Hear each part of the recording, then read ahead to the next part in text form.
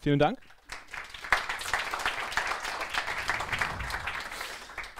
Fangen wir mal direkt an und gucken, ob das auch gleich alles funktioniert. Wie ihr sehen könnt, habe ich euch heute ein großes Bild mitgebracht. Und anhand dieses Bildes möchte ich euch quasi wie eine Geschichte den Inhalt hoffentlich einigermaßen spannend präsentieren. Wie gesagt, wir werden, ja, so ungefähr eine Stunde werde ich was erzählen. Ähm, ich hoffe, dass ihr es aushaltet. Deswegen eine interessante Art der Darstellung. Äh, ich habe hier eine gewisse Figur gezeichnet, das schon mal vorab als ich diesen Vortrag für mich, als er sich so rauskristallisiert hat, das war irgendwann abends. Ich habe meistens kreative Ideen, wenn es 10, 11 ist und ich todmüde bin. Davor habe ich noch einen Film geguckt, da kam Superman vor und ich weiß nicht, ob es da einen Zusammenhang gibt, aber es hat mich irgendwie inspiriert. Werden wir gleich noch dazu kommen. Der genaue Titel lautet Unternehmen im Wandel, alternative Lösungsversuche für dynamische Umweltbedingungen. Und genau darum geht es. Wir schauen uns zum einen mal an, was ich unter Dynamik verstehe und wie sich das auf die Umweltbedingungen auswirkt. Und dann schauen wir uns mal an, zwei fiktive Beispiele von Unternehmen, wie sie darauf reagieren. Ein Unternehmen, was Schwierigkeiten hat, das steht hier auf wackeligen Füßen. Ein Unternehmen, was damit ganz gut fährt. Und am Ende werden wir diese Theoriewelt verlassen und dann werde ich ganz konkret mal darstellen, wie wir das hier bei der Synix umsetzen.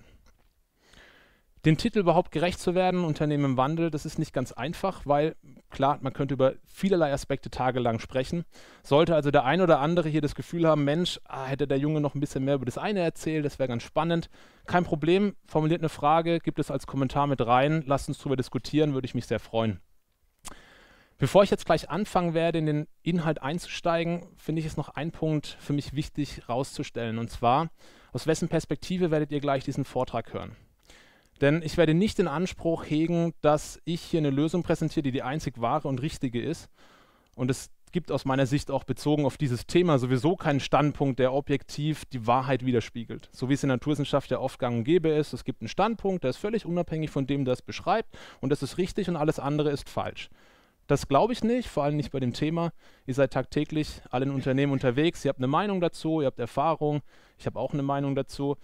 Und das, was ich hier vorstelle, ist größtenteils Theorie gestützt. Ich habe mal ein paar für mich wichtige Bücher mitgebracht und da möchte ich gleich vorab, bevor ich das irgendwann vergesse, erwähnen, dieses Buch hier finde ich besonders spannend. Da werden wir gleich noch einiges drüber hören. Ist ein ganz interessanter Titel, Hierarchielos führen. Da habe ich mich viel bereichert und viel auch rausgenommen, weil ich ganz viele Parallelen entdeckt habe. So, ja, ich glaube, damit habe ich alles Wichtige am Anfang mal gesagt. Und jetzt möchte ich euch direkt mal mitnehmen in meine Welt. Also, was ist meine Motivation und wessen Perspektive hört ihr hier eigentlich? Ich habe am KIT hier in Karlsruhe Verfahrenstechnik studiert. Das ist sowas wie Maschinenbau mit Schwerpunkt Chemie. So erzähle ich das immer, weil die meisten Leute in Verfahrenstechnik, da kann man wenig damit anfangen. Bin dann direkt in die Chemiebranche gegangen und habe aber für mich herausgefunden nach einiger Zeit, ja Mensch, irgendwie brennt mein Herz für Kommunikation und soziale Prozesse und Interaktion. Habe ich offensichtlich was anderes studiert, weswegen ich mich dann entschieden habe, diesen linearen Karrierepfad, den ich mir früher mal vorgestellt habe, den habe ich verlassen, bin dann in die Beratung gegangen und hatte das Glück, mich als Agile Coach ausbilden lassen zu können. Ja, und hatte da tolle Möglichkeit, verschiedene Branchen und Unternehmen kennenzulernen, bis ich dann letztendlich bei der Sunix gelandet bin. Das ist dieses schöne Gebäude hier. Also ihr befindet euch vermutlich gerade da oben. die Synix ist ein Unternehmen mit ein bisschen mehr als 60 Mitarbeitern. Wir sind reiner Softwaredienstleister. Für drei größere Kunden schon seit mehreren Jahren, also hauptsächlich für drei größere, haben wir noch ein paar mehr, die wir schon seit einigen Jahren mit Software begeistern können. Und was für mich aber in dieser Zeit, als ich diese verschiedenen Branchenunternehmen kennengelernt habe, für mich in Erinnerung geblieben ist, war der Aspekt, welcher Dynamik diese Unternehmen ausgesetzt waren.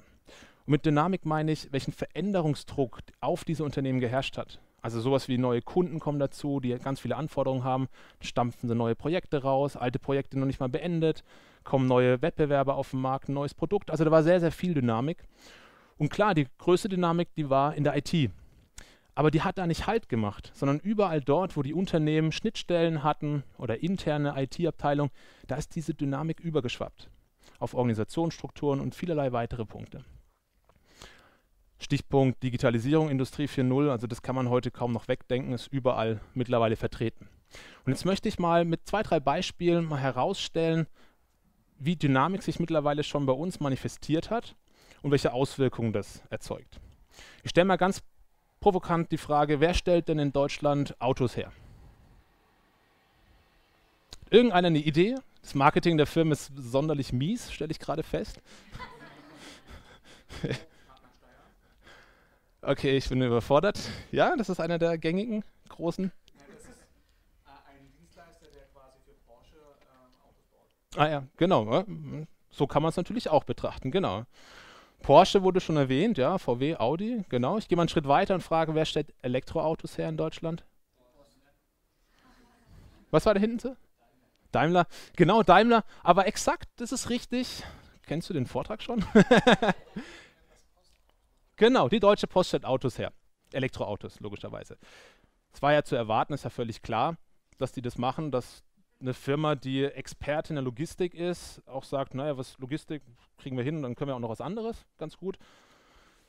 Das zeigt ganz toll das Beispiel aus meiner Sicht, wie viel Veränderungsmöglichkeit gegeben ist, was alles möglich ist.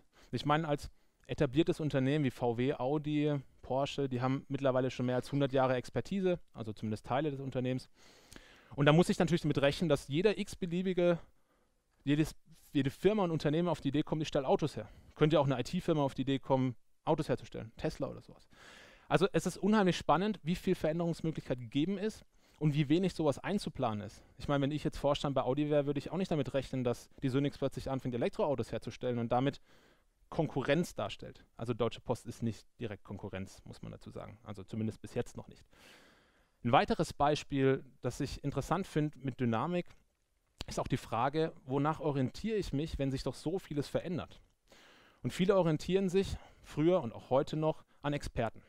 Und Experten findet man zumeist in Unternehmen relativ weit oben. Und da möchte ich mal eine Expertenaussage, so ein Zitat, mal kurz äh, vorstellen. Ein CEO von Microsoft hat mal gesagt, there's no chance that the iPhone is going to get any significant market share. No chance. Er hatte damit nicht ganz recht.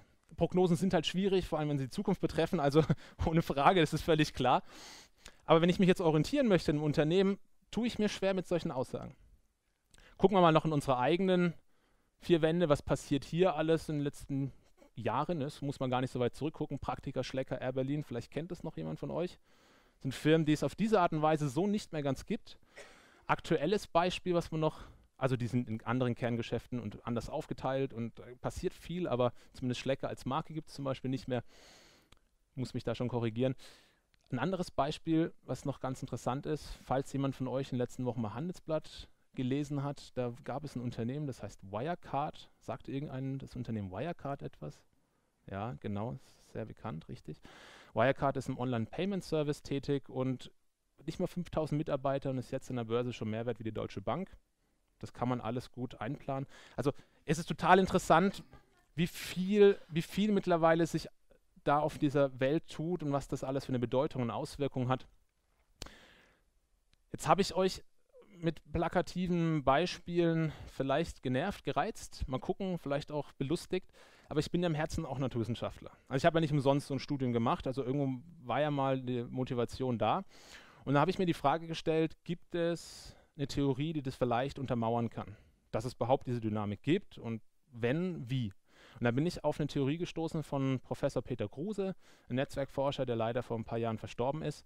Und der hat gesagt, naja, wir müssen uns mal die Systemarchitektur unserer Gesellschaft angucken. Was hat sich da verändert? Und da wagen wir mal einen frechen Blick außerhalb, sehen diese dynamische Weltkugel eingebettet in so ein Netzwerk.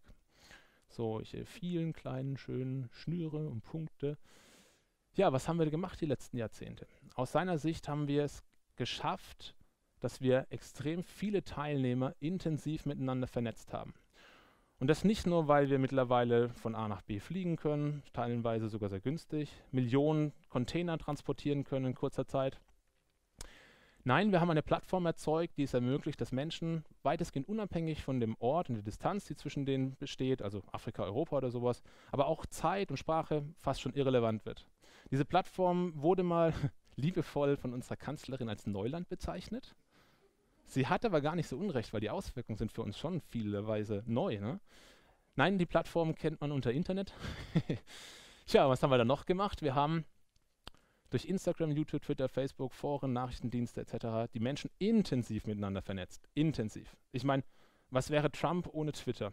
Ich glaube, irgendwie so hat er das mal ausgedrückt. Also das ist irgendwie schon relevant. Aber jetzt kommt noch was Eigenes dazu, noch eine Eigenschaft, die unsere Gesellschaft laut Peter Kruse auch ausmacht. Es gibt noch spontane Aktivität in diesem Netzwerk. Spontane Aktivität meint, dass jeder von diesen Teilnehmern plötzlich aktiv sein kann. Das ist nicht planbar, nicht vorhersagbar, wer da wie aktiv wird. Auch durch die Mobile Devices, jeder hat heutzutage Internet, zumindest hier in unserer Kultur, zumindest jeder einen Zugang. Und das hat extreme Auswirkungen, also wirklich extreme Auswirkungen. Und das möchte ich kurz mal über, ein, über eine akustische Hörprobe euch zeigen. Und zwar werde ich jetzt gleich ein Lied abspielen, also ich werde nicht singen, Es hat schon mal einer gedacht, dass ich singe. Nein, das tue ich nicht, das möchte ich euch ersparen. Nein, ich werde direkt ein Lied abspielen, was im Refrain startet. Und würde mir einen Gefallen tun, wenn ihr durch eine nonverbale Körperreaktion, so ein Handzeichen mir signalisiert, ich kenne dieses Lied. Betonung auf kennen, ihr müsst es nicht mögen, okay? Weil das ist Demonstrationszwecke und für mehr nicht. Jetzt gucken wir mal, ob das auf Anhieb funktioniert. Also dann 3, 2, 1.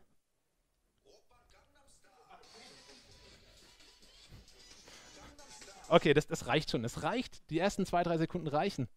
Der, der sich nicht gestreckt hat, kennt dieses Lied tatsächlich nicht. Also war irgendeiner dabei, der das Lied noch nie im Leben gehört hat? Ernsthaft jetzt? Ja? Kennst du das Lied nicht?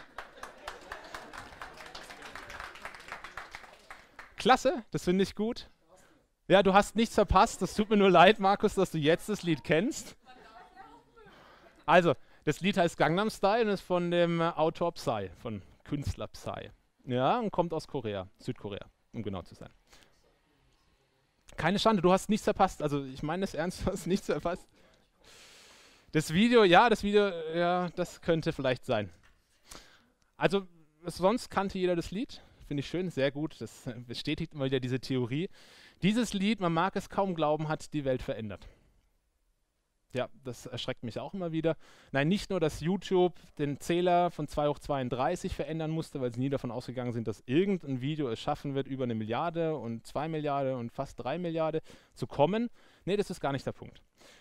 British Airways zum Beispiel hat gesagt, die Nachfrage ist so dermaßen gestiegen von Südkorea, dass wir sechs Tage der Woche Südkorea, also vor allen Dingen Seoul, da wo der Psy herkommt, anfliegen müssen. Das ist ein Aspekt. Die Firma vom Vater vom Psy, ne, Firma vom Vater vom Psy, ist an der Börse gelistet, hat aber nichts mit Musikbusiness zu tun, hat rote Zahlen geschrieben und hat es fertiggebracht, um 600 Prozent den Aktienwert zu steigern. Da kann man jetzt einen Kausalzusammenhang vermuten, vielleicht auch nicht. Ist auch wieder gefallen, der Aktienkurs, Gott sei Dank, also die Regulation funktioniert. Kurze Zeit später, als das nächste Video von Psy rauskam, ist wieder der Aktienwert um mehr als 600 Prozent gestiegen. Das ist faszinierend. Aber, und das ist der interessanteste Punkt, die Außenhandelsbilanz von Südkorea hat sich das erste Mal nach fünf Jahren ins Positive gewandelt. Aufgrund von koreanischer Popmusik. So, ihr lacht, sehr gut. Was bedeutet das? Ich bin überzeugt, wenn ich dieses Video jeden von euch einzeln zuvor gezeigt hätte, bevor es rausgekommen wäre, ich hätte euch gefragt, glaubt ihr, das wird das meistgesehenste Video auf YouTube? Glaubt ihr, das wird die, die koreanische Handelsbilanz ins Positive treiben? Nein, auf keinen Fall. Ja, genau. Davon bin ich überzeugt, weil ich jetzt auch nicht gedacht, mich erschreckt es immer noch.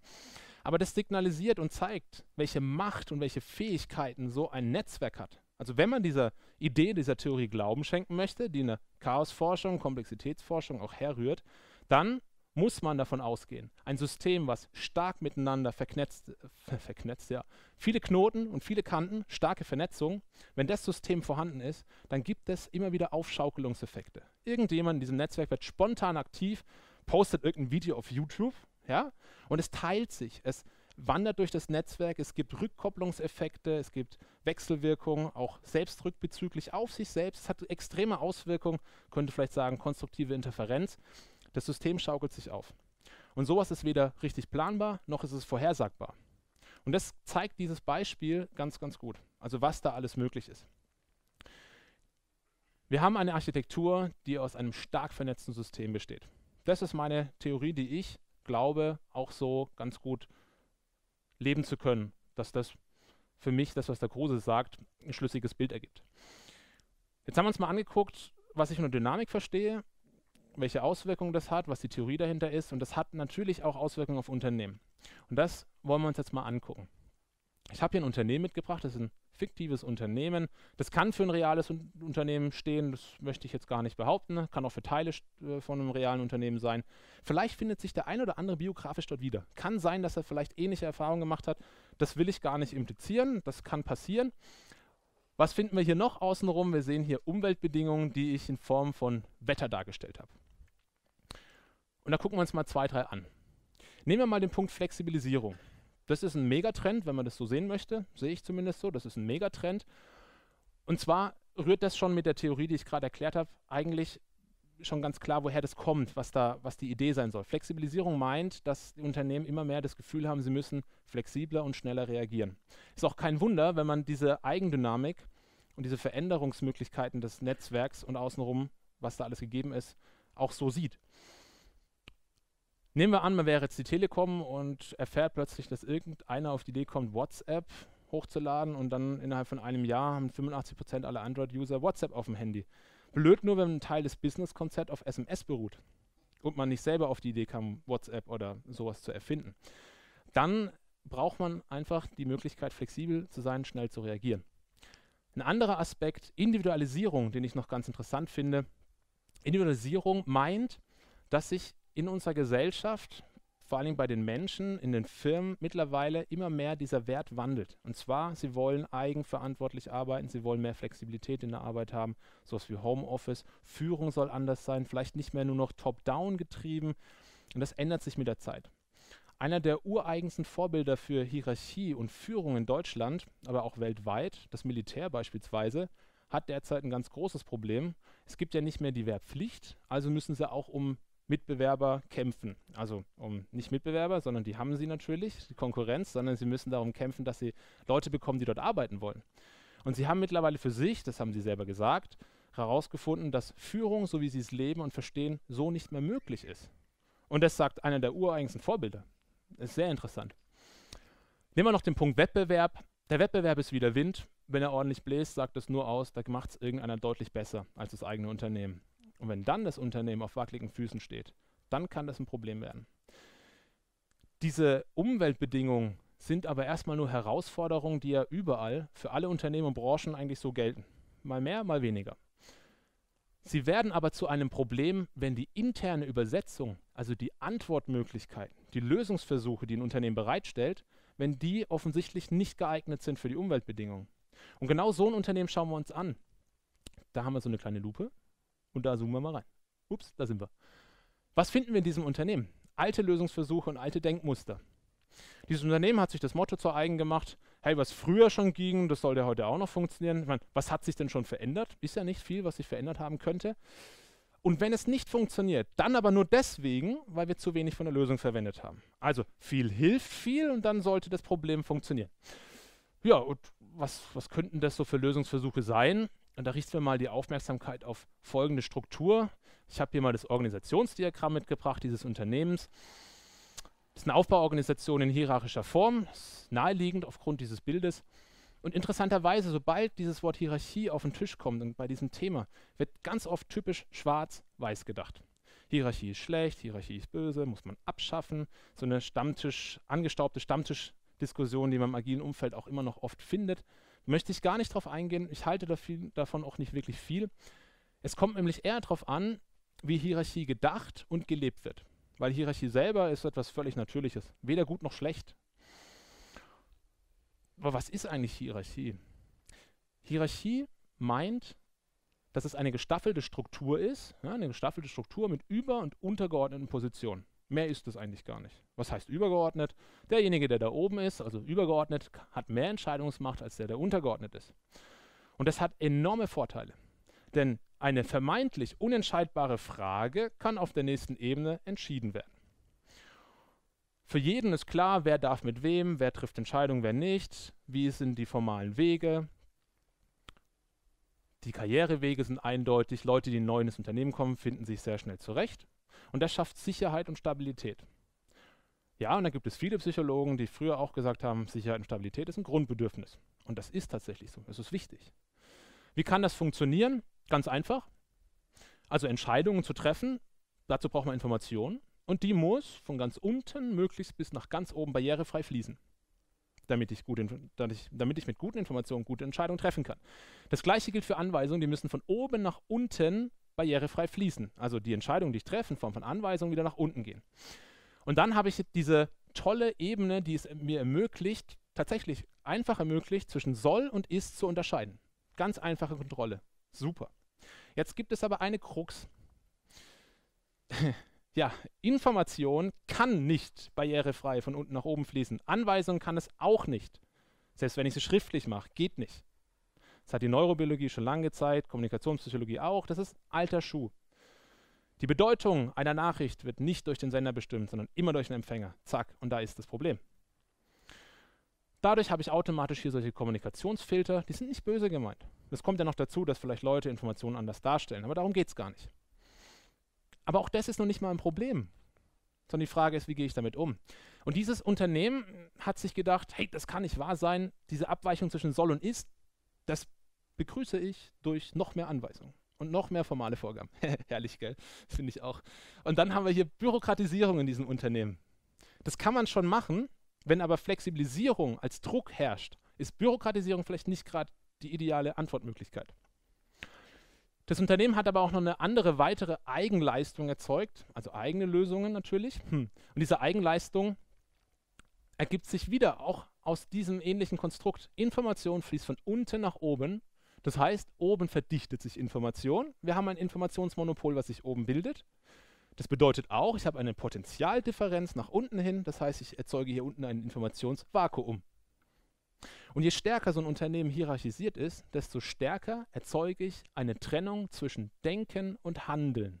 Hier in diesem Unternehmen vor allen Dingen. Naja, das bedeutet, die da oben, die haben hier so ein paar neuronale Netzwerke, die ermöglichen Denkvorgänge. Und da können dann Ideen entstehen und Visionen. Sie müssen damit nicht zum Arzt, ja, das Thema ist auch schon durch. Und dann wird per Gießkanne schönes Unternehmen gegossen. Und wenn man jetzt bei dieser Metapher bleiben möchte, das Schöne bei Gießkannen und Wasser ist, dass natürlich dann hier Tröpfchen nur noch ankommen. Das verteilt sich. Das heißt, da kommt nicht mehr die volle Information und der Gesamtzusammenhang kommt da erst recht nicht an. Also, ihr wieder oben, wir denken und die da unten, die sollen das einfach nur noch umsetzen. Deswegen denken wir oben, werden dafür bezahlt, sehr gut meistens, und die sollen unten das ja einfach ausführen. Das habe ich jetzt mal übertrieben als Pflichterfüller, kopflose Pflichterfüller dargestellt. Das ist schon sehr gemein, aber als ich das Unternehmen so untersucht hatte und mit denen gesprochen, dann haben die gemeint, sie fühlen sich so. ja, jetzt entsteht da ein gewisser Frust in diesem Unternehmen. Und zwar, die unten sagen sich, die da oben, die sollten mal hier unten arbeiten.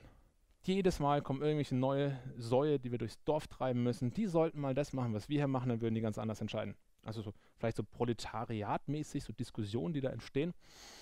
Alle sind da sehr gefrustet und die da oben sind auch sehr gefrustet, weil die sagen, das kann doch nicht so schwer sein. Die einfachsten Anweisungen können die da unten nicht ausführen. Entweder sie sind faul oder sie sind dumm oder sie wollen nicht. Und das ist ganz, ganz traurig, weil es hat sich in diesem Unternehmen ein Menschenbild etabliert, was man auch aus der alten Managementschule noch kennt, Taylorismus, Douglas McGregor, so als Stichwörter, kennt ihr vermutlich alle, weil sie auch in der agilen Welt immer wieder gerne zitiert werden. Ja, der Mensch ist halt eben faul, der Mensch will nicht, der Mensch ist nur getrieben durch Geld und Angst. Das ist das Menschenbild in diesem Unternehmen. Sehr schade. Weil daraus hat sich auch ein Führungsverständnis etabliert. Führung gleich Managen und Fremdbestimmtheit. Ah ja, da habe ich ja noch einen Esel und einen Eselstreiber. Spannend. Hm könnt ihr selber sinnvoll ergänzen, wer der Eselstreiber ist und wer der Esel. Was macht denn dieser Eselstreiber? Wenn der Mensch doch durch Geld und Angst getrieben ist, warum das nicht nutzen? Ich will, dass der Mensch, also der Mitarbeiter in meinem Unternehmen, ein gewisses Verhalten an den Tag legt. Warum das dann nicht nutzen über Geld und Angst? Also, der Esel kriegt hier seine Karotte. Das ist die Form der Belohnung. Ich belohne dein Verhalten. Das nennt sich operante Konditionierung. Ja, das ist ein toller Begriff. Ich konditioniere dein Verhalten über diese Karotte. Und wenn das nicht funktioniert, die milde Form der Bestrafung, ich kann dir deinen Bonus auch wegnehmen. Nicht, dass ihr mit einem Bonus rechnet, den ihr jedes Jahr versprochen bekommt und das nicht irgendwo mit einfließt. Nein, nein. Also milde Form der Bestrafung, ich nehme dir den Bonus weg. Oder ich hole gleich die Peitsche raus und sage dir, hör zu, hier warten zehn weitere auf diesem Platz. Ganz einfach. Das Bittere ist nur, der Verlierer hier ist nicht der Esel, sondern der Eselstreiber. Weil sobald der Eselstreiber aufhört mit der Karotte der Peitsche, macht der Esel, was er will. Das ist, das ist einfach so. Da haben ein paar namhafte Forscher aus der Neurobiologie, Manfred Spitzer und auch Gerald Hüther, haben dazu ein bisschen was gesagt. Das Ganze nennt sich Dressurmethode und die Idee ist auch sehr alt. Man nehme eine Ratte, gebe ihr Zucker, um Verhalten zu belohnen, funktioniert. Man nehme eine Ratte, stecke sie in den Käfig, nehme eine Lampe, setze den Käfig unter Strom, immer dann, wenn die Lampe zuvor leuchtet. Lampe, Strom, Lampe, Strom, Lampe, Strom, Lampe, die Ratte hat es verstanden. Die Ratte macht genau das, was sie tun soll. Nur gibt es einen signifikanten Unterschied zwischen diesem Gedankenexperiment und in der Realität. Das eine ist eine Ratte und das andere ist ein Mensch. So groß mag der Unterschied sein, und das ist er auch tatsächlich. Das funktioniert nur in gewissen Rahmen und die sind sehr klein. Das ist nicht übrigens äh, nur meiner Meinung nach geschuldet, sondern das kann man auch nachlesen in Büchern von diesen Wissenschaftlern. Also vielleicht nicht ganz so provokant, wie ich es formuliere, aber tatsächlich findet man das so. Weil immer wenn die Frage stellt, wie kann ich meine Mitarbeiter motivieren in diesem Unternehmen, stellt sich die Frage, wie kann ich das veranlassen, dass die das tun, was ich denen sage, dass sie das tun sollen. Nur etabliert sich das leider nicht. Wie in der Schule auch. Nur weil ich auf Physik lerne, heißt es nicht, dass ich danach Physik gut kann, sondern ich will ja eine gute Note haben. Die gute Note heißt nicht, dass ich danach gut Physik kann. Und so ist es ja auch. Der Esel lernt nämlich, wie kriege ich die Belohnung und wie umgehe ich die Bestrafung. Und das ist der lernende Punkt für den Esel. Naja gut, da hat sich dann eine gewisse Unternehmenskultur dort eingeschlichen. Das ist so, äh, das ist der Schatten des Unternehmens oder der Kaugummi, der am Fuß klebt, der ist einfach da. Das ist, kann ärgerlich sein. Da reicht es auch nicht, das hat das Unternehmen gut gemeint, wenn es im Eingang so wunderschöne große Werte an die Wand malt, mit Marketing ausgearbeitet. Respekt ist uns wichtig, wir leben Vertrauen und Ehrlichkeit, wenn doch für die meisten klar ist, Abwertung, Misstrauen und Kontrolle. Über die Differenz wird meistens nicht diskutiert, also zumindest nicht offiziell, an einer Kaffeemaschine schon. ja, gut. Also, das wäre doch eine mögliche Erklärung dafür, warum dieses Unternehmen auf wackeligen Füßen steht, weil diese Lösungen, die das Unternehmen bereitstellt, für diese Bedürfnisse nicht gemacht ist. Und die Geschichte, die das Unternehmen über sich selber prognostiziert für die Zukunft ist, also wenn es so weitergeht, dann geht das alles hier vor die Hunde. Interessanterweise passiert es meistens aber nicht. Solche Unternehmen sind extrem klug und haben ein Eigenleben entwickelt. Wie kann ich lang überleben?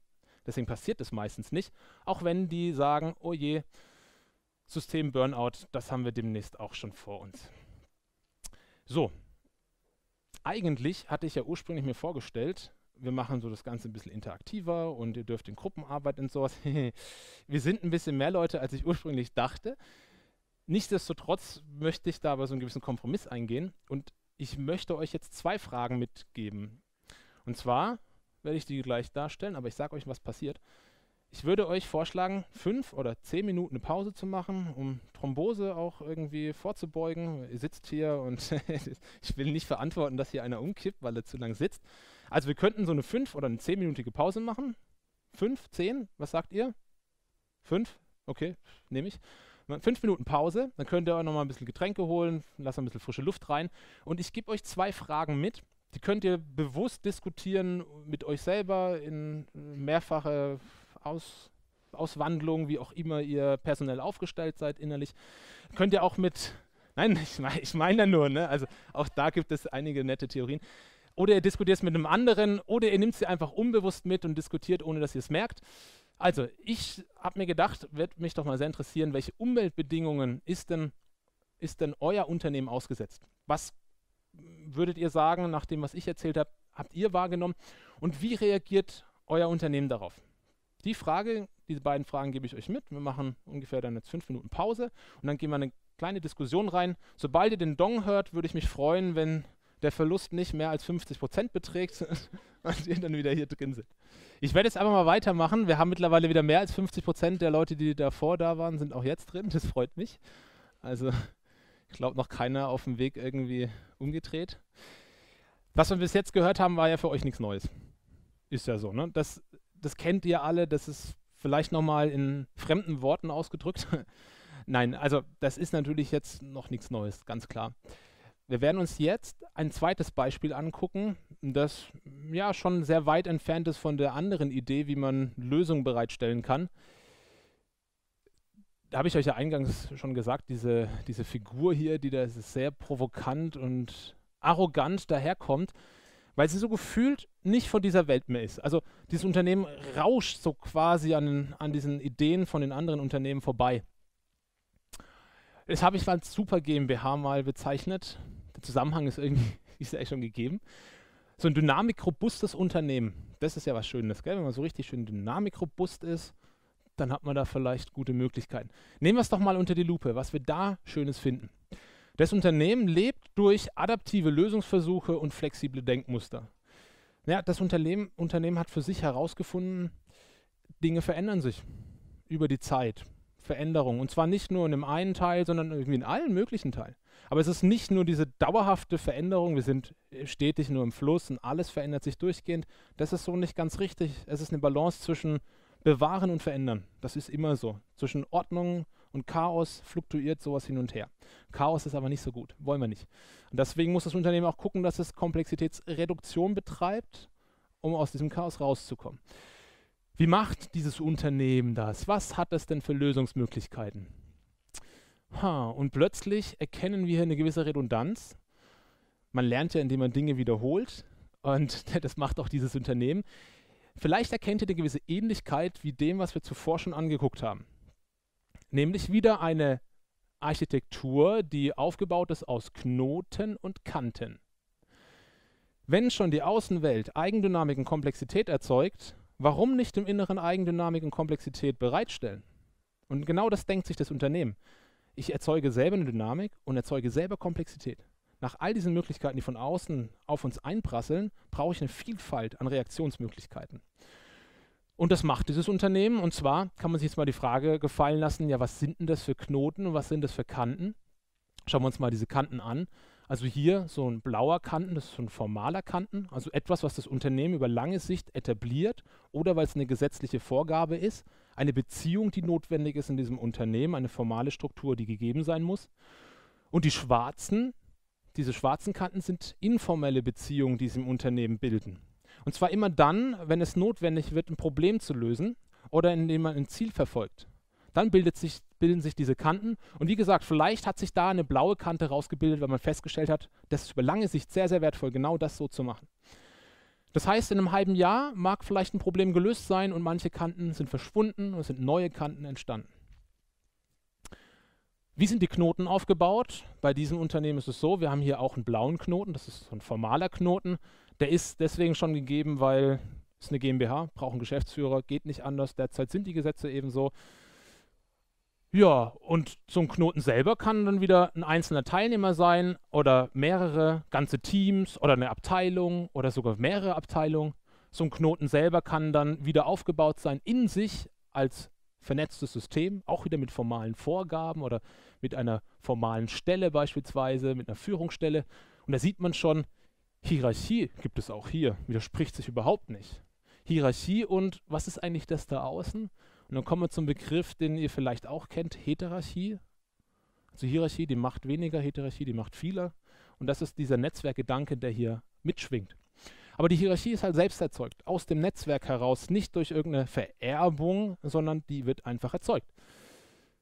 Was braucht es in diesem Unternehmen? Was braucht es für ein Menschenbild, damit so eine Struktur entsteht und leben kann? Das Menschenbild in diesem Unternehmen muss darauf beruhen, dass Menschen gewillt sind, Dinge zu verändern, Dinge selber in die Hand zu nehmen. Das heißt, sie wollen die Welt entdecken, sie wollen diese Probleme kennenlernen, sie brennen dafür und wollen das aber auch gestalten. Und da habe ich hier so ein mächtiges Wort, Potenzialentfaltung, hingeschrieben. Das ist nicht meine Idee, das ist ein Konzept von Gerhard Hüther der Hirnforscher ist und sich ganz intensiv mit Lernprozessen bei Kindern beschäftigt hat. Wenn man so ein Kind mal sich anguckt, äh, mein Sohn hat selber vor einem Jahr, eineinhalb Jahren laufen gelernt. Und das nicht, weil ich ihm gesagt habe, lern jetzt endlich laufen, oder weil ich eine Karotte gewedelt habe oder eine Peitsche, das bringt nicht wirklich viel. Also ich muss ihn gar nicht motivieren, dass er läuft. Er läuft, weil er die Welt entdecken will. Er läuft, weil er merkt, dass seine Vorbilder es auch tun, ohne dass ich ihm das sage oder befehle. Er will die Welt entdecken und er will die Welt gestalten. Und das sind die zwei Grundbedürfnisse, die der Gerhard Hüther in seinem Konzept erwähnt und sagt, Potenzialentfaltung ist möglich, wenn ich Entdeckerfreude und Gestaltungslust bereitstelle. Dann kann sich ein Potenzial entfalten. Kann. Nicht, dass es automatisch der Fall ist. Aber man muss sich ja vorstellen, ein Kind kommt mit einem Gehirn auf die Welt und das Gehirn weiß nicht, ob es im Amazonas auf die Welt kommt, wo es 20 Grüntöne unterscheiden muss, oder hier in Deutschland, wo 20 Grüntöne völlig wurscht sind. Ja? Aber im Amazonas ist das halt schon relevant. Aber das muss ein Gehirn einfach können. Und das ist eben die Idee, die der Gerhard Hüther sagt. Und wenn man das schafft, dass die Leute, die hier arbeiten in diesem Unternehmen, die dort unterwegs sind, das mitgestalten wollen, eigenverantwortlich, dann hat man auch die Leute, die man braucht in diesem Unternehmen. Also Potenzialentfaltung, die Idee von Gerhard Hüther, hier als Menschenbild aufgenommen. Wie gestaltet sich jetzt der Aspekt Führung? Das ist sehr interessant, weil darüber könnte man sicherlich stundenlang erzählen. Ein heikles Thema.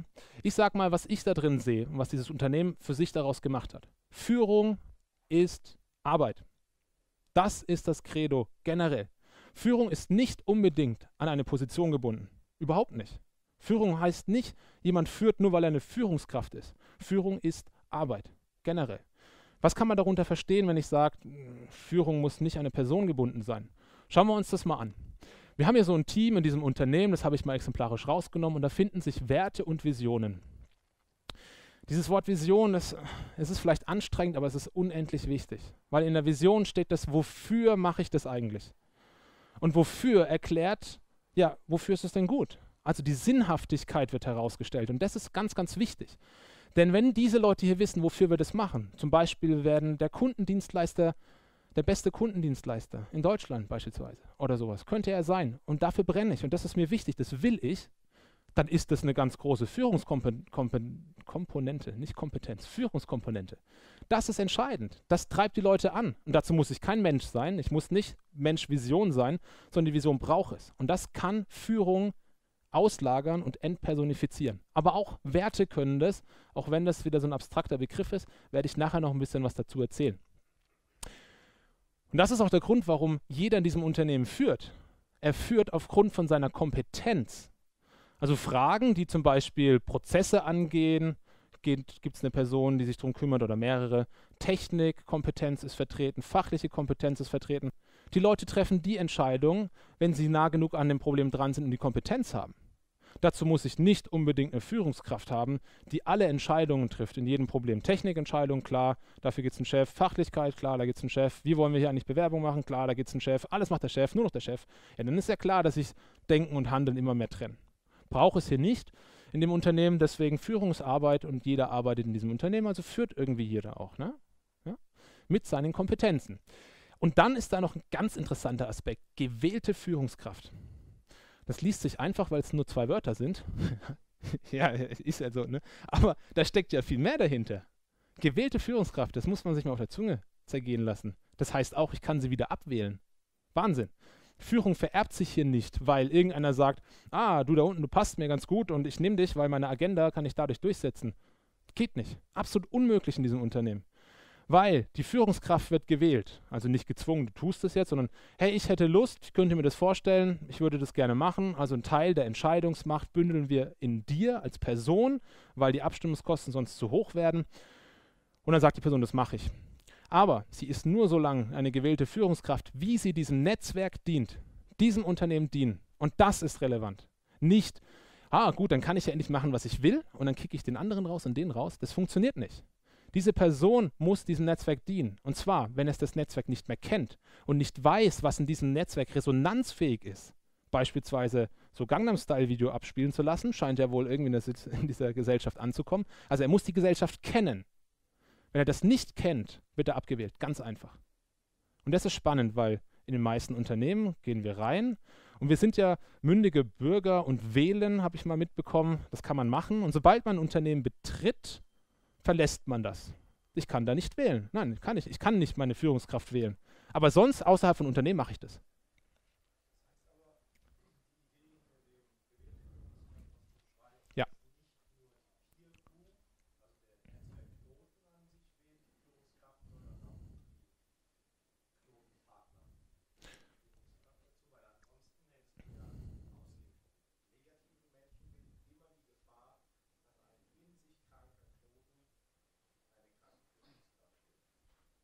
Gut möglich, dass sowas passiert, ja.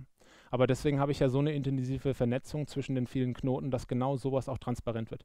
Also es kann sein beispielsweise, dass dieses Team hier beschlossen hat, uns ist das einfach zu lästig. Wir wollen nicht alle gleichbestimmt alle Fragen immer gemeinsam, äh, wie sagt man, Konso du hast doch diese schöne Schule gemacht, Konsens und Konsent oder Mehrheitsentscheid oder wie auch immer. Sie wollen das einfach nicht sondern haben gesagt, wir bündeln das auf diese Person. Die Person hat gesagt, ich möchte das gerne machen.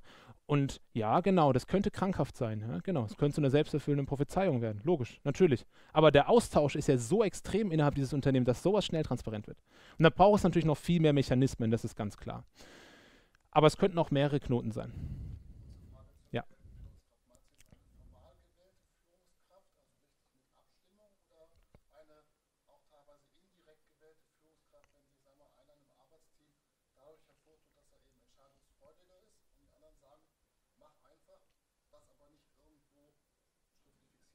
Ja, das ist, ein, das ist ein interessanter Aspekt. Ich meine das Formale, also das Verbalisierte und das andere beispielsweise, was auch mit Personenmacht zu tun hat, Leute, die ähm, Charisma haben, Leute, die argumentativ überzeugen können, Leute, die fachlich überzeugen können und damit natürlich auch eine gewisse Stimmung und Entscheidungsmacht tragen, die hast du immer. So oder so.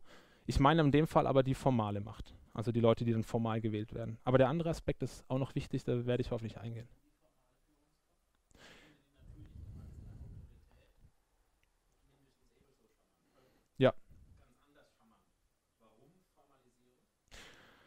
Das ist eine gute Frage. Also wir könnten jetzt sagen, hier, ihr seid alle gleichgestellt, was ihr per se jetzt auch gerade in diesem Moment seid. Und jetzt müssen wir regelmäßig Entscheidungen treffen.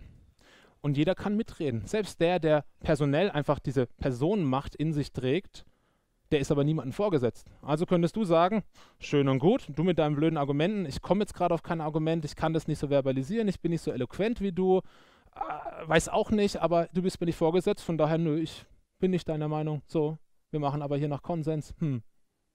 Viel Spaß. Das könntest du ja sagen. Ja, und schon haben wir eine Blockade und haben hohe Abstimmungskosten im Unternehmen. Weswegen vielleicht das Team sagt, hör zu, das wollen wir so nicht, wir müssen entscheidungsfähig bleiben, also wählen wir jemanden. Oftmals kristallisiert sich so ein Teamcoach oder dieser, nee, Team-Captain, besserer Begriff, kristallisiert sich mit der Zeit raus. Und dann ist es vielleicht diese Person.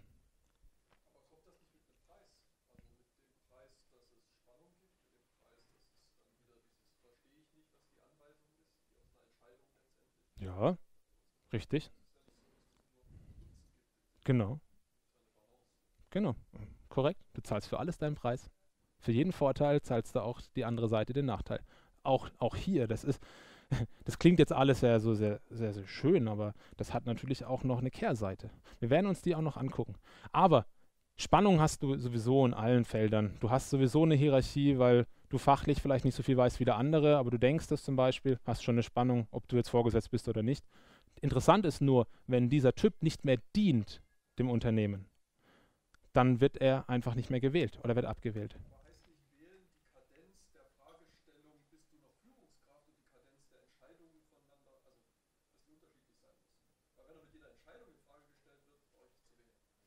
Ja. Das sind Dinge, die das Unternehmen dann ausdiskutieren muss an der Stelle. Aber das ist ja das Tolle, das ist ja flexibel. Es ist nicht einfach gegeben, dass du jetzt die Führungskraft bist und du vererbst es weiter, sondern du hast die Möglichkeit, in diesem Netzwerk eben hast du Resonanzfähigkeit und du hast sie auch nicht. Also wenn du nicht mehr deinen Beitrag leistest und das nicht auf Resonanz stoßt, verlierst du. Also es hätte sein können, dass du dieses Video von Psy, dieses Video, wenn du das online gestellt hättest, hätte sein können, dass es das vielleicht niemanden interessiert. Hätte sein können, weil es nicht vorhersagbar ist, weil es nicht auf Resonanz stößt. Man kann natürlich schon bis zu einem gewissen Grad herausfinden, was auf Resonanz stoßt und was nicht. Und das ist die Aufgabe von so einer Führungskraft. Herauszufinden, was treibt dieses Unternehmen an. Und da muss die Führungskraft dienen. Sie muss an das Unternehmen ran und nicht mehr nur ihr eigenes Ding machen. Ich werde mal nachher noch, mal nachher noch auf ein, zwei Beispiele eingehen, wie wir es hier machen. Vielleicht wird es dann, vielleicht äh, bringt es ein bisschen Licht ins Dunkel. Und wir das, ja, gern.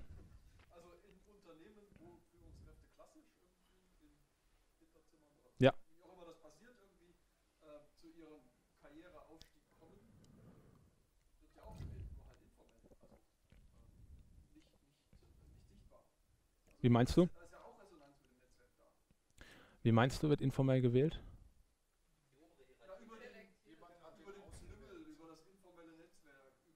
Ach so, ja, ja, ja, richtig. Die Seiten, genau, dem Elfenturm wurde eine Entscheidung gefällt. Ja, korrekt, aber das ist ja nicht das gesamte Unternehmen. Da, fliegt, da fließt ja nicht alles mit rein. Ja, richtig. Ja, genau. Da hast du wieder ähnliche Effekte, aber du kannst ja nicht, du kannst sie ja nicht abwählen, du kannst dich ja schlecht dagegen wählen, äh, wehren. Vor allen Dingen nicht, wenn du normaler Mitarbeiter bist. Richtig, ja, genau. Aber es ist, das Grundprinzip ist trotzdem das gleiche. Sobald du informelles Netzwerk hast, und das hast du in jedem Unternehmen. Ich habe zwar ja vorher dieses Organisationsdiagramm mitgebracht, das heißt aber nicht, dass es da nicht ein unterliegendes Netzwerk gibt, das ganz schön viel Entscheidungsmacht mitträgt und dass da Dinge passieren. Das ist vollkommen richtig. Aber hier wird es noch expliziter gemacht. Das ist der Unterschied. Also hier wird es formalisiert und es gibt die Möglichkeit zu wählen und es abzuwählen. Und das nicht nur informell, sondern ganz formal. Ja, das wird verbalisiert. Gehen wir mal noch ein Stückchen weiter. Welche Kultur hat sich in diesem Unternehmen etabliert? Eine Kultur der Selbstverantwortung. Ich muss Verantwortung für mein Handeln übernehmen, wenn ich diese, und dieses Unternehmen mitgestalten möchte. Vertrauen ist, wächst in diesem Unternehmen stetig und ist auch ganz wichtig, denn Vertrauen ist auch die Möglichkeit, Komplexität zu reduzieren. Wenn ich jemandem vertraue, dann glaube ich, sein Verhalten vorhersagen zu können bis zu einem gewissen Grad und das ist ganz wertvoll. Partizipation, die Leute müssen teilnehmen, sie müssen da dran sein, sonst funktioniert es nicht. Und Kooperation ebenfalls, das muss die Bereitschaft und die Fähigkeit in diesem Unternehmen gegeben sein, zu kooperieren. Also nicht jeder ist fähig zu kooperieren, dazu braucht es natürlich auch noch gewisse Skills, die man etablieren muss. Wie gebe ich jemandem Feedback, anstatt zwischen Tür und Angel oder ihm irgendwelche Sachen an den Kopf zu schmeißen. Aber es muss ja auch die Bereitschaft da sein, zu kooperieren. Also was motiviert die Leute, dass sie überhaupt zusammenarbeiten? Das war ein kleiner Einblick, da könnte man natürlich noch viel mehr sagen, ein kleiner Einblick, wie dieses Unternehmen sich aufstellt.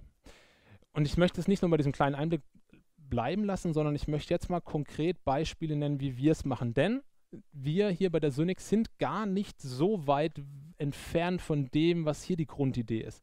Wir haben ähnliche Grundideen hier etabliert, ohne dass wir davor diese Bücher gelesen haben, sondern die Dinge sind äh, einer unserer Chefs, der Markus, die, die sind über die Jahre einfach so gewachsen. Ja, mittlerweile schon vor über 17 Jahren.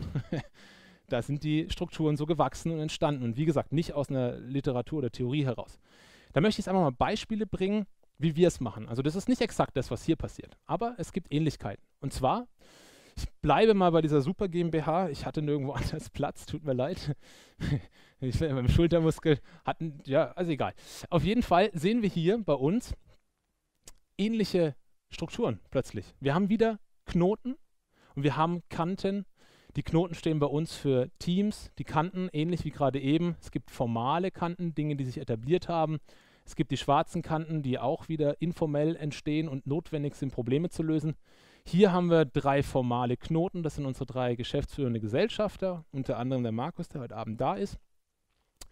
Und das hier ist, wie gesagt, gewachsen, mittlerweile mehr als 17 Jahren.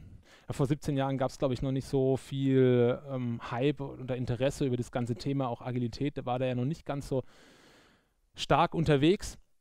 Aber es war einfach notwendig. Die Leute haben festgestellt, so kann man gut arbeiten, so passiert viel, viel, es fühlt sich gut an für die meisten von uns. Und das spiegelt sich auch wieder, diese, diese Struktur hier findet man, wenn man nachher eine kleine Führung machen, sofern ihr Interesse habt, das findet sich auch im Großraum wieder. Beispielsweise lebt diese Struktur auch darin, dass es keine, keine Privilegien gibt. Also nur weil ich hier geschäftsführende Gesellschafter bin, heißt es nicht, dass ich deswegen ein großes eigenes Büro habe mit eigener Dusche und einem Wasserfall, sondern die drei Herren sitzen bei uns genauso in einem Großraum wie jeder andere auch, mit dem gleichen Tisch, den gleichen Pflanzen. Also das ist bei uns ganz normal. Also auch da findet sich diese flache Hierarchie, diese Hierarchiegedanke wieder. Und ich habe hier außen das Unternehmen so gestrichelte Linie dargestellt. Da habe ich die Systemgrenze gezogen. Gestrichelt deswegen, weil wir als Dienstleister extrem stark mit unserem Kunden vernetzt sind. Also wir haben die Vernetzung nicht nur nach innen, sondern wir haben die auch nach außen. Das hat Folgen, das gucken wir uns auch noch gleich an. Wie kommt denn diese Struktur überhaupt zustande? Also, ein Organisationsdiagramm über die Synix zu machen, ist enorm schwierig. Aber ich habe mir mal gedacht, das sieht eigentlich meistens so aus, dann könnte man am besten darüber erklären. Wir haben Kundenteams. Ja, wir sind ja Dienstleister für den Kunden, die produktbezogen arbeiten. Das sind unsere Kundenteams. Wir haben auch noch interne Teams, das gibt es auch. Office-Team arbeitet nicht für den Kunden, sondern für uns oder Marketing zum Beispiel. Und es gibt die Möglichkeit, dass die Leute, die im Kundenteam arbeiten, darüber hinaus in internen Teams noch arbeiten können. Die meiste Zeit für den Kunden, aber auch intern. Ein Beispiel. Als wir über die Jahre hinweg größer und größer geworden sind, immer mehr gewachsen sind, kam die Frage auf, ja, wer kümmert sich denn eigentlich um Bewerbung, um HR? Das muss man ja auch irgendwie machen. Und jetzt hätte man sagen können, stellt man Personaler ein, kein Problem. Wir haben uns aber gesagt, hm, eigentlich so viel Kompetenz braucht man, glaube ich, nicht. Das könnten wir vielleicht intern, also nichts gegen Personaler, nicht falsch verstehen. Nein, nein, nein, nein, nein, nein, nein. Die, die haben ihre Daseinsberechtigung, glaube ich. Nein, nein, nein, nein, nein, alles gut. Nein, wirklich, Scherz beiseite. Wir haben gedacht, wir können das Problem wahrscheinlich selber lösen. Erstmal. Probieren wir es aus. Und dann kam einfach die Frage, wer hat denn Lust, sich diesem Thema anzunehmen? Genial, wer hat Lust? Und dann sagen Leute, ich habe Lust. Gute Voraussetzung, dass Leute gute Arbeit machen. Ganz einfach. Ja, und dann sind es diese weiß-grünen Personen, die dann gleichzeitig im Kundenteam sind. Hauptsächlich, logisch, die machen jetzt nicht 40 Stunden die Woche Bewerbung. Und dann haben sie noch ihre ein, zwei Stunden, vielleicht mal drei, wo sie Zeit verwenden für Bewerbungsprozesse, also Bewerbungsprodukt. Und so entstehen bei uns ganz, ganz viele Teams, die temporär über eine gewisse Zeit zusammen sind und vielleicht sich wieder lösen. Vielleicht sagt auch einer, ich habe keine Lust mehr darauf und das ist in Ordnung, es darf er, er wird deswegen nicht ausgestoßen von der Gemeinschaft, ist in Ordnung. So entstehen bei uns dann diese ganzen Strukturen, wie wir sie hier sehen. Das meine ich mit, wie entstehen eigentlich diese Kanten? Genau dadurch entstehen diese Kanten, dass die Leute in Interaktionen gehen, das über einen längeren Zeitraum hinweg. Wie ist das jetzt mit Führung dieser Teams? Das ist bei uns ganz einfach. Alle Teams arbeiten bei uns selbst organisiert, nicht fremd organisiert, selbst organisiert. Also bei uns muss nicht der Markus, Thomas oder Achim die ganze Zeit dahinstehen und sagen, was macht ihr da eigentlich und wie tut ihr das und so solltet ihr das tun und das ist der richtige Weg. Nö, das machen wir schon selber, weil was braucht es denn an Kompetenzen, um erfolgreich ein Projekt zu, zu, gestalten oder ein Produkt zu entwickeln? Wir brauchen jemanden, der technisch Ahnung hat, wir brauchen jemanden, der fachlich Ahnung hat, wir brauchen jemanden, der prozesstechnisch unterstützt, also so ein Rollmodell, das haben wir auch. Wir arbeiten auch nach Scrum an vielen Stellen, ja, aber das ist die Grundidee dahinter, ist immer die gleiche. Wir brauchen diese Kompetenzen und da braucht es keine Führungskraft dafür. Die Fachlichkeit ist unser Kunde, der ist hier außen, das machen wir auch selber. Wir sprechen mit unseren Kunden, wenn wir was wollen. Und alles andere, das ist dieser Rahmen. Da kommt dann unser Hausmeister Deluxe um die Ecke. Entschuldigung, Markus, dass ich dich immer als Hausmeister Deluxe an dieser Stelle bezeichne. Der tut eigentlich nichts anderes. der tut eigentlich nichts anderes, als dafür zu sorgen, dass diese Menschen so gut es geht arbeiten können. Weil der Kunde, der wichtigste Kunde für eine Führungskraft ist der Mitarbeiter. Weil wenn die 60 Mitarbeiter hier gut arbeiten können, ist das viel wert, weil diese 60 Mitarbeiter dann den Kunden glücklich machen können. Und was braucht es? Ja, Räumlichkeiten, Verträge, okay, das ist bei uns outgesourced, das darf hier passieren. Also wir unterstützen natürlich auch, aber hauptsächlich dann dort. Ja, wir brauchen eine Vision. Wo wollen wir eigentlich hin? Wo soll die Reise mit dieser Firma hingehen? Das hilft ganz, ganz viel, um sich zu identifizieren und natürlich auch viel Entscheidungen treffen zu können. Und dann haben wir noch, noch diese Coaches, unter anderem meine Wenigkeit und meine Kollegen, meine zwei, genau, die Melanie und der Sören. Wir sind Agile Coaches hier bei uns. Oder vielleicht Teamcoach wäre vielleicht der bessere Begriff, weil wir nicht nur agil denken. Wir sind Dienstleister. Wir leisten einen Dienst für alle hier in diesem Unternehmen. Und zwar nicht nur in Fragen vom Prozess, sondern auch in Fragen von Kommunikation, Konflikttraining, weil da, wo Menschen zusammenarbeiten, ihr wisst, wie es weitergeht. Ja?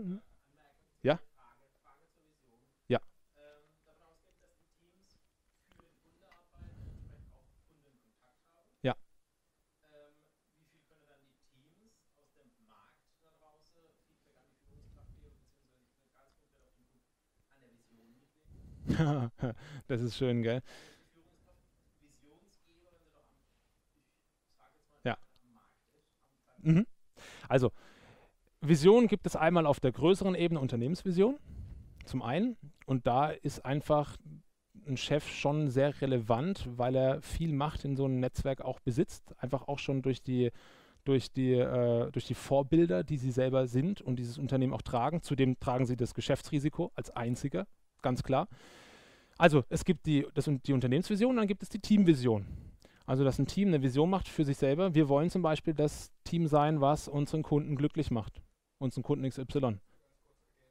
Ja.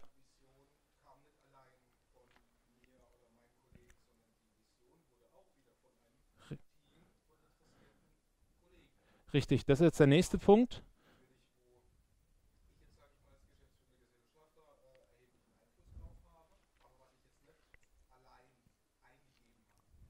Also das ist ein interessanter Punkt. Wir hatten, genau, das wäre jetzt das nächste. Wir haben hier es ist ein langwieriger Prozess. Ja, ich komme auch noch auf die, auf die Schwierigkeiten in diesem System zurück. Aber wir haben hier eine Unternehmensvision. Workshop, mehrere, drei, vier über die Zeit jetzt entwickelt und an der Unternehmensvision gearbeitet. Und die kommt nicht top-down. Das wäre ja wieder genau dieser Krux, das macht ja keinen Sinn. Sondern die haben natürlich, müssen sie die Vision tragen, die Chefs, auf jeden Fall, das ist besonders wichtig, aber die entsteht gemeinsam mit uns. Und das auch wieder nach der Frage, wer hat Lust an dem Thema zu arbeiten. Und ein paar erinnern sich von uns Unixlern, waren dabei an dieser Vision und haben da mitgearbeitet. Also das ist schon ein Prozess, der gemeinsam entsteht.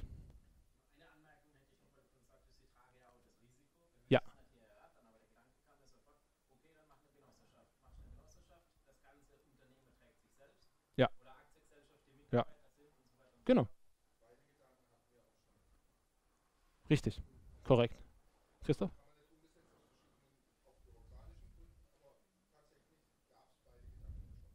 Ja. Ja.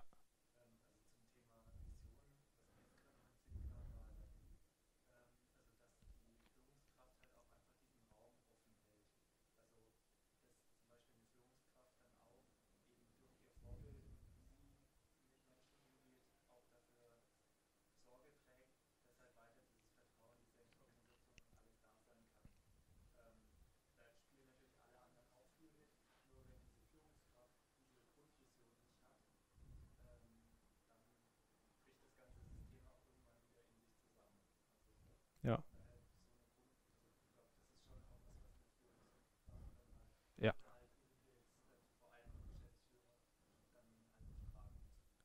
Ja.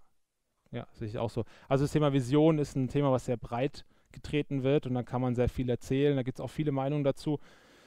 Ich würde es an dieser Stelle, würde ich es gerne mal noch so belassen, weil ich würde noch einen Aspekt rausnehmen, Teamwerte. Das ist ein sehr abstrakter Begriff, aber ich möchte mal die Macht von diesen Teamwerten kurz demonstrieren oder durch eine Erzählung und, oder durch eine Möglichkeit, wie man das etablieren kann. Nehmen wir mal an, dadurch, dass wir weitestgehend alle auf der gleichen Ebene unterwegs sind, formal, nehmen wir mal an, diese Person hier kommt regelmäßig zu spät zu einem Meeting und jetzt bin ich ganz oft in der Rolle der Moderation unterwegs. Das stößt mir negativ auf. Hm? Klar, gehe zu dieser Person hin und sage, hey, wie wäre es denn, ich fände es irgendwie toll, wir könnten pünktlich kommen, das würde uns allen Vorteil bringen.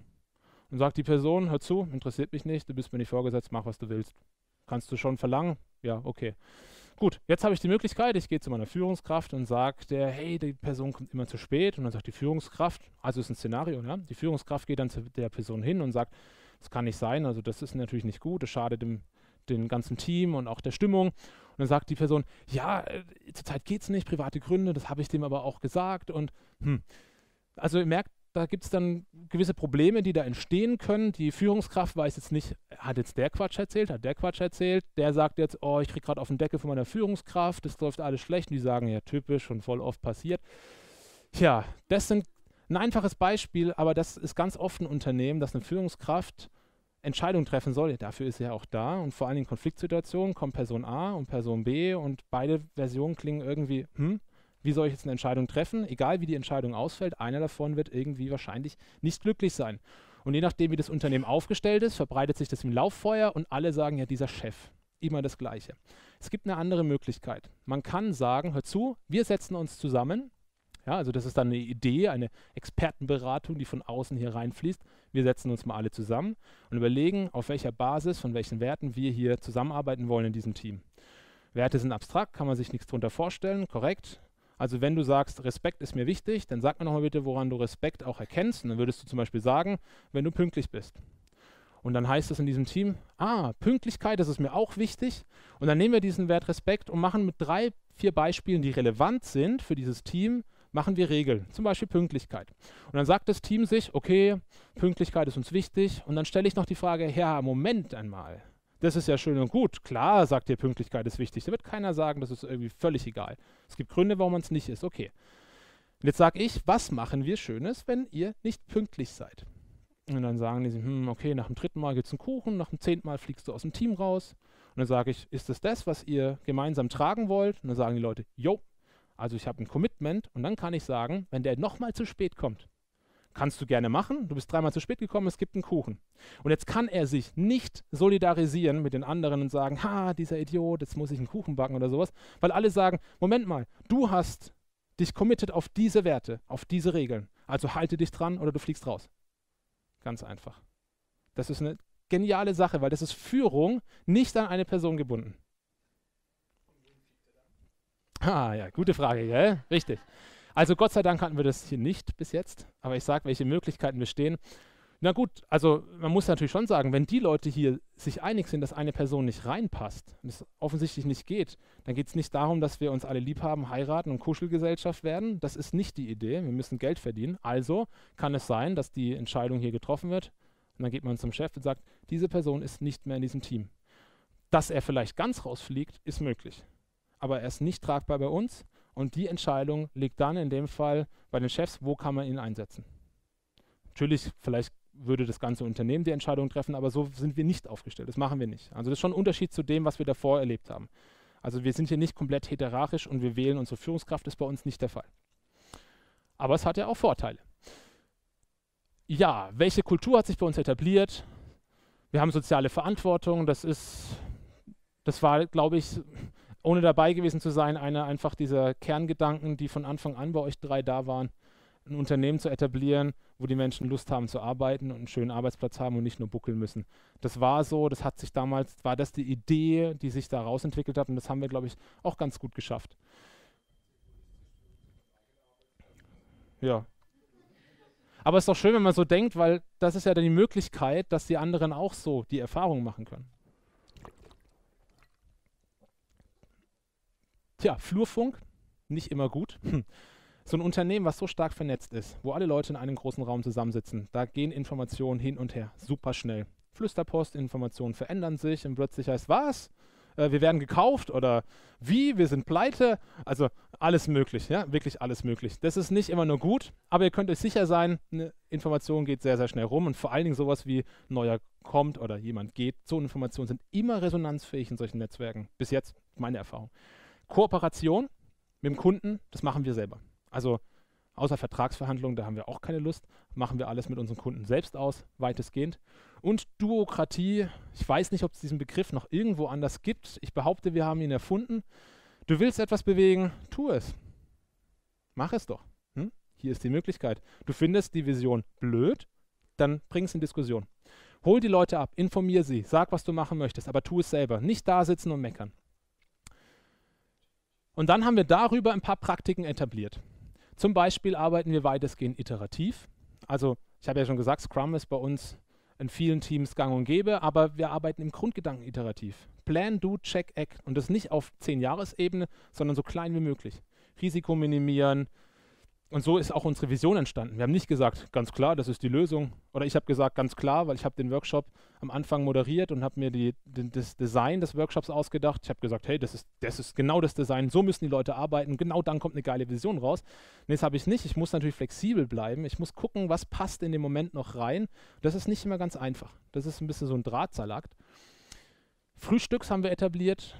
Jeden ersten Freitag des Monats sitzen wir alle hier in diesem Raum. Da wird Frühstück geliefert Wurst, Käse, Brötchen und dann essen wir gemeinsam. Da werden neue Projekte vorgestellt, Leute, die irgendetwas entwickelt haben, darüber hinaus, neue Mitarbeiter vorgestellt und Flurfunkthemen angesprochen. Wer hat gehört, dass dieses Unternehmen gekauft wird oder sowas?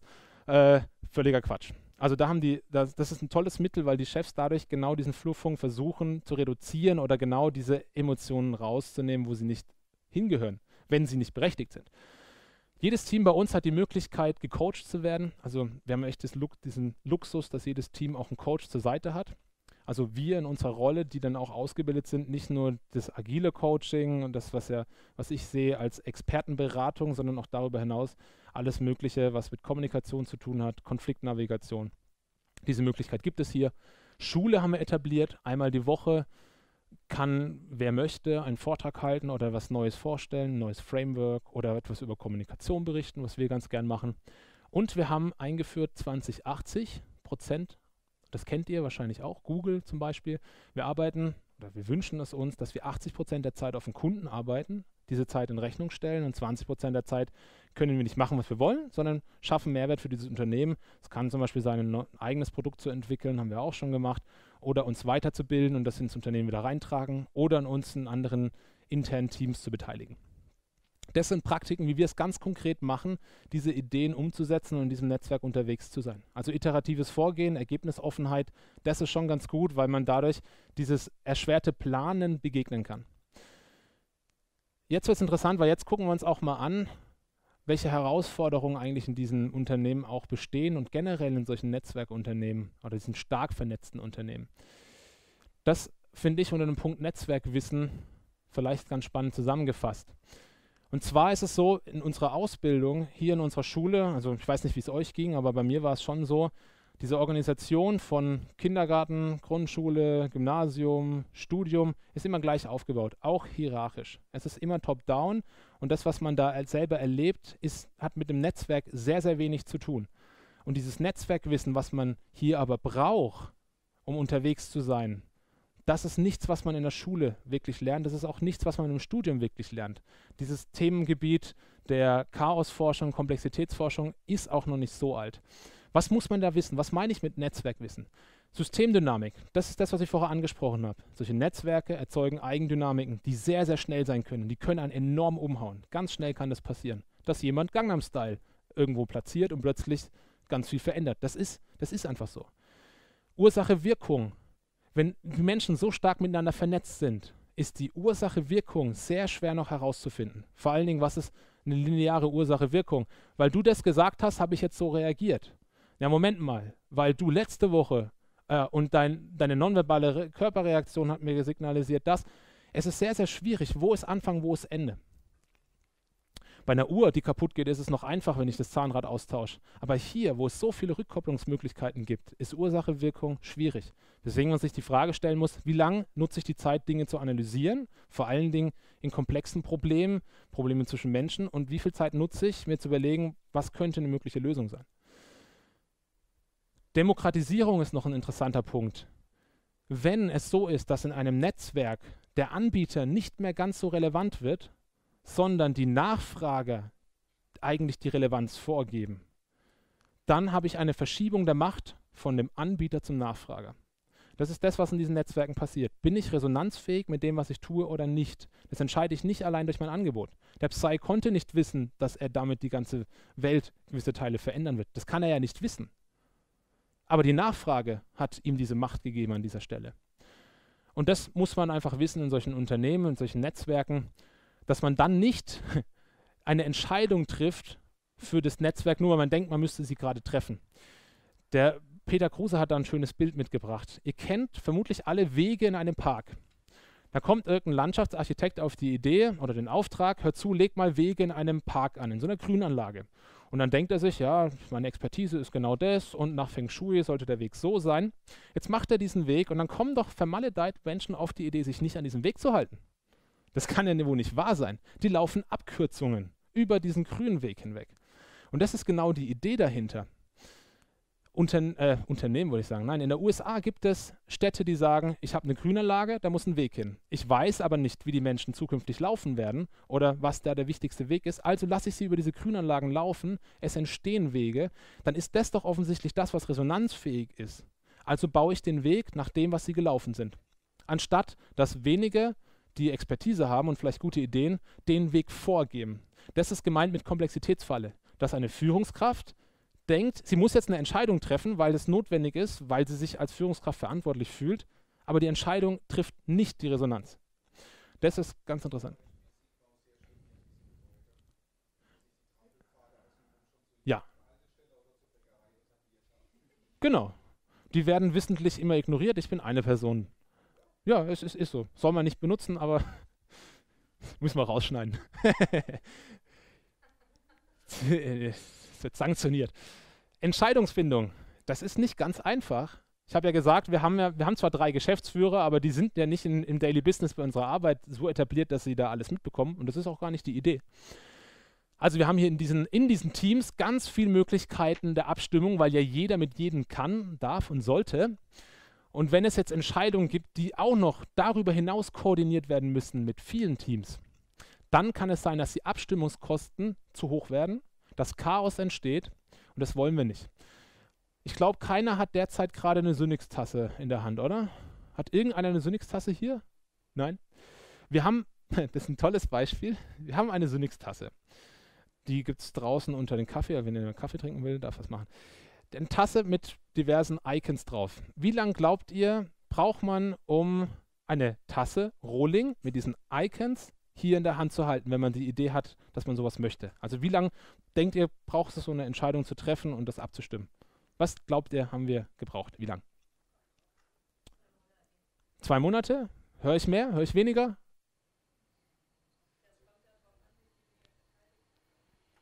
Ja, was einfach mal so ins Blaue, was denkst du, wie lange man braucht in so einem Unternehmen, was ich bis jetzt ja vorgestellt habe bei uns? Was denkst du, irgendeine Zahl? Zwei Monate haben wir gehört? Fünf Tage? also, Markus, korrigiere mich, aber ich glaube, wir haben zwei Jahre gebraucht, bis diese Tasse, zumindest wird es im Flurfunk immer erzählt, wir haben zwei Jahre gebraucht, bis diese Tasse auch wirklich so entstanden ist. das ist das, was korrigiert mich für alle, die, die in der Synix sind, aber ich meine, es sind zwei Jahre, die wir gebraucht haben.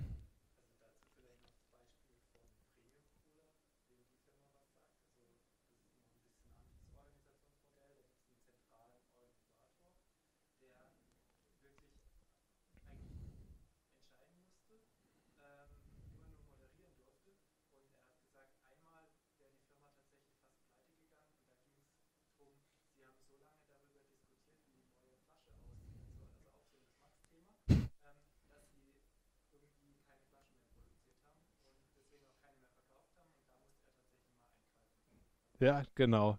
Guter Punkt. Also, das ist genau das, ne? Zwei Jahre gebraucht, um so eine Tasse zu drucken. Gott sei Dank war es ja nur so eine Tasse. Also sich für das Design entscheiden, bis es dann da ist. Es war nur eine Tasse. Und ihr könnt euch vorstellen, wenn das etwas ist, was relevant wird für zum Beispiel, machen wir das Projekt ja oder nein? Welchen Weg wollen wir gehen, den oder den? Also das muss man sich schon gut überlegen, wie viel Abstimmungskosten können wir noch tragen, bevor wir uns entscheiden müssen, bis jemand eine Entscheidung trifft. Und zwar, es wird jetzt entschieden. Solche Sachen sind im Netzwerk gar nicht so einfach, weswegen dann auch eine gewählte Führungskraft manchmal zustande kommt, weil die Abstimmungskosten es nicht mehr rechtfertigen können, dass jeder mitentscheidet bei allen Fragen. Vielleicht kommt das Netzwerk selber auf Möglichkeiten, das noch anders zu machen, bevor man eine Führungskraft braucht, wählt oder es eine gibt, die dann Entscheidungen treffen müssen.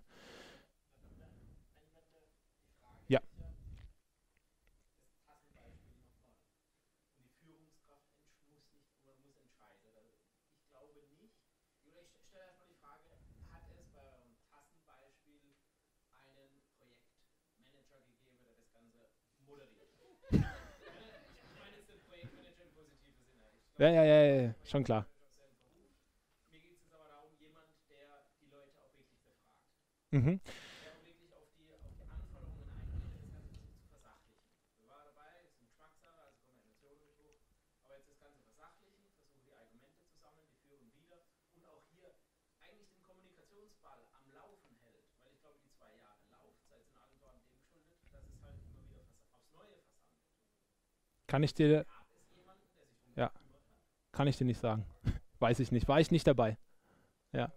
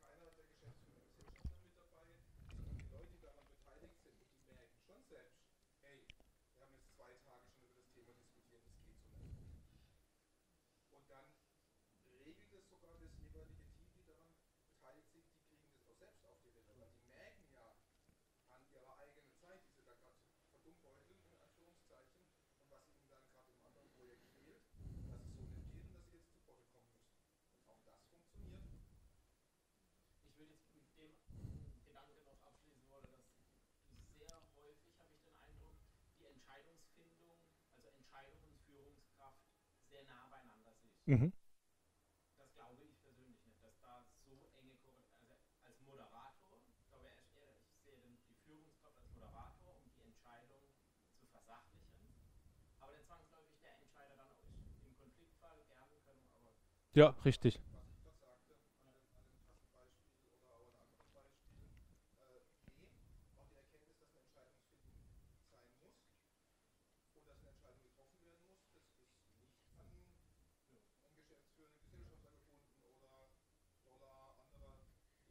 Korrekt, genau. Deswegen wird der, also die meisten Entscheidungen treffen wir dich unabhängig. weil wir das gar nicht brauchen. Das ist ja die Idee. Nein, die Entscheidungsmacht ist nicht an eine Führungsperson gebunden, überhaupt nicht. Das ist ja oftmals der Fehlgedanke in der Hierarchie aus meiner Sicht, dass die Leute denken, weil sie in der hierarchischen Person sind, also in der Position sind, müssen sie auch immer die Entscheidung treffen. Nee, überhaupt gar nicht. Gar nicht. Man kann auch streng hierarchisch sehr, sehr elegant führen, indem man einfach immer wieder den Ball zurückspielt und als Moderator dient, vielleicht als Coach oder sowas. Gibt es ja viele Möglichkeiten. Also das möchte ich da nicht plakativ darstellen an der Stelle.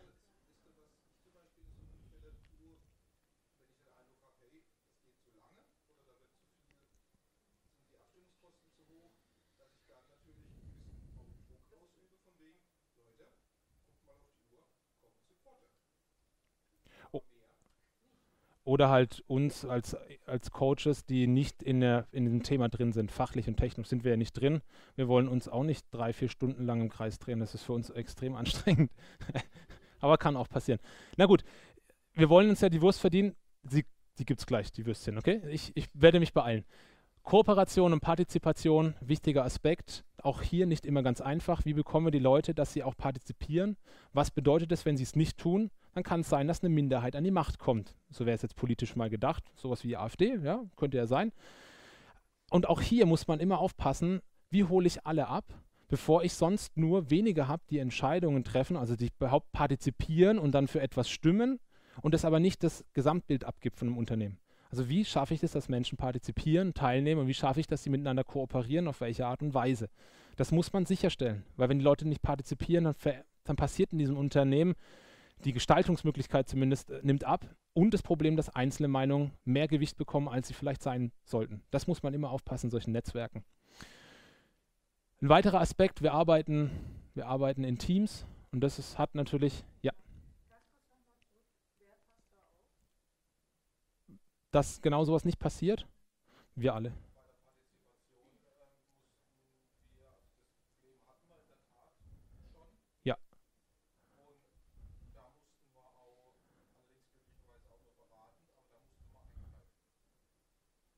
Genau, also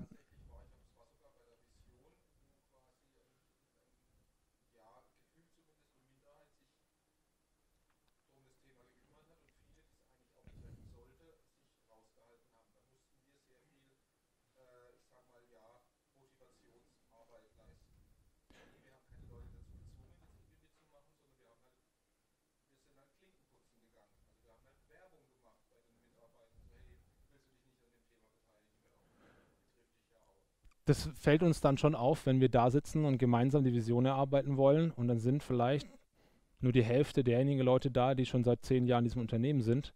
Und das sind aber Leute, die einfach wichtig sind, weil sie Kulturträger sind hier und dann sind die nicht dabei. Und dann sagen wir, hm, wie sollen wir da ein gutes Ergebnis liefern, weil wir glauben nicht, dass wenn die das nachher nicht mittragen, dass das was gibt. Ja, das ist eine Vermutung und das diskutieren wir dann schon. Also das ist nicht so, dass denn unsere Chefs äh, klammheimlich dann losgehen und dann Klinken putzen, sondern das ist das, was wir ja gemeinsam diskutieren.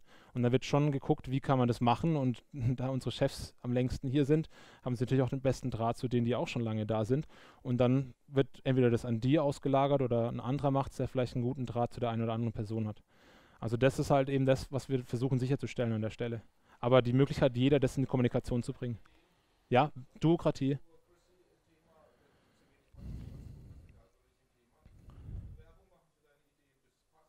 Ja, Marketing.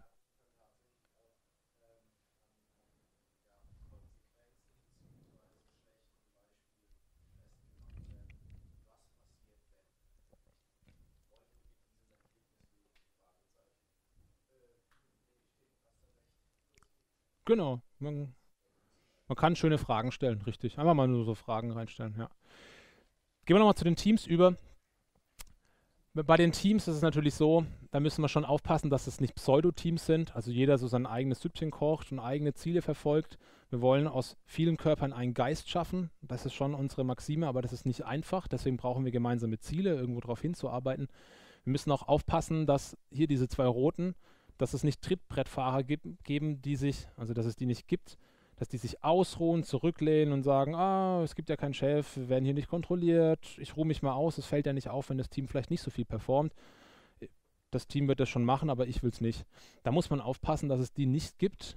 Also, dass man Arbeit visualisiert, Transparenz reinschafft, dass auch das Team das selber reguliert, aber das ist tatsächlich ein Problem. Das hatten wir auch schon. Vielleicht jetzt nicht so übertrieben, wie ich es dargestellt habe, aber schon welche, die sich eher zurückhalten. Harmoniekult, das ist auch so etwas, was typischerweise in Teams ganz oft auftritt, dass man es nicht gewillt ist, sich gegenseitig Feedback zu geben, was vielleicht auch mal etwas härter ist. Weil ganz oft ist die Frage, was wiegt mehr? Das Produkt oder die Arbeit oder die Beziehung zwischen uns? Und wenn jetzt jeder auf die Idee kommt, die Beziehung mehr zu werten als das Produkt, sind wir irgendwann nicht mehr geschäftsfähig. Und da muss man aufpassen. Es geht nicht darum, dass wir eine Kuschelkultur etablieren, auch wenn das jetzt vielleicht so ein bisschen klingen mag und wir hier auch ganz viele Freiheiten haben. Das können wir ja nachher nochmal angucken. Nein, es geht darum, dass wir gut zusammenarbeiten, ein gutes Ergebnis liefern. Das ist die Idee. Also Harmoniekult ist nicht ganz ohne. Also wir haben das schon oft gehört, dass wir in Einzelgesprächen mitbekommen haben, ha, mich stört etwas. Und dann, wenn wir gemeinsam drüber sprechen wollen, dann ist da dieser Riesenelefant im Raum, der die Luft von jedem zum Atmen nimmt, aber keiner will ihn ansprechen wo dann schon auch unsere Aufgabe ist, ja genau, und jetzt stechen wir mal in diese Wunde und wir legen den auf den Tisch. Aber da muss ja trotzdem die Bereitschaft sein, darüber zu sprechen. Dann kann immer noch jeder sagen, nee, sehe ich nicht so.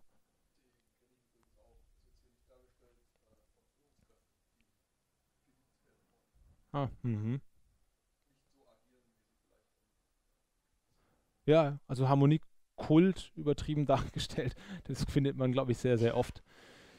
Noch zu guter Letzt, hm, Tja, Identitätsdilemma, das ist auch so etwas. Man muss sich im Klaren sein, wenn man sich vernetzt, intern und extern, dann macht man das zu einem gewissen Preis. Und zwar, wenn man sich nach außen hin vernetzt, dann vernetzt man sich ja auch mit der Kultur und den Werten von dem Partnern gegenüber auf der anderen Seite. Weswegen es zu einer gewissen Schmelze kommen kann. Fusion wäre vielleicht der bessere Begriff, dass zwei Identitätskerne, zwei Unternehmen fusionieren, weil sich die Werte und Kulturen treffen und sich dadurch durchmischt. Oder das andere Problem ist, es gibt schon keine Identität mehr, weil wer sind wir eigentlich noch, wenn der Kunde, Teil des Kunde fünf Tage die Woche hier sitzt, so wie jeder andere auch? Ist der jetzt Synix oder nicht? Ja, er hat keinen Arbeitsvertrag bei uns. Okay, aber er sitzt doch fünf Tage die Woche da. Das wird konfus und da muss man aufpassen, dass die Zentrifugalkräfte des Unternehmens hier nicht nach außen schleudern und jeder irgendwo anders ist, weil keine Identität mehr da ist. Also wie schafft man es, dass die Leute gewillt sind, hier zu arbeiten? Weil Karriere machen bei der Synex, wie man es klassischerweise kennt, indem man die Karriereleiter aufsteigt, na, das ist ein bisschen schwierig, weil das haben wir so nicht. Und das ist auch gar nicht die Idee. Ich habe es nicht. Also ich kenne keinen vom Unternehmen bei uns, der gesagt hat, ich will unbedingt aufsteigen in der Karriereleiter, mehr Verantwortung oder so. Das gibt es bei uns nicht. Also, oder? Ja, genau. Und da ist natürlich die Frage, was reizt die Leute dennoch hier zu arbeiten, wenn es nicht die Karriereleiter ist? Und das hat was mit Identität zu tun. Wir müssen eine Identität schaffen, dass die Leute gewillt sind, hier zu arbeiten, dass sie es wollen.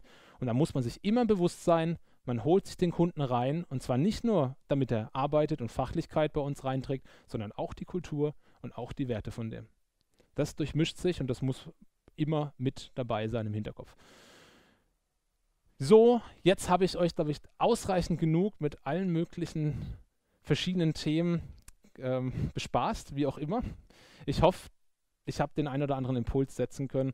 Ich hoffe, ihr könnt vielleicht was davon mitnehmen. Ich würde mich freuen, wenn wir noch ein bisschen gemeinsam diskutieren. Aber es ist verständlich, wenn ihr alle rausrennt und euch was zu essen holt, ein bisschen bewegt. Ich kann euch anbieten, wenn ihr Lust habt, eine kleine Führung durchs Büro. Dann könnt ihr mal sehen, wie wir hier so leben, arbeiten. Könnt ihr euch das mal angucken. Wer möchte, schauen wir mal, dass wir vielleicht nach der ersten Wurst starten. Ansonsten danke, schön, dass ihr da seid. Danke, dass ihr so lange geduldig mir zugehört habt. Vielen, vielen herzlichen Dank.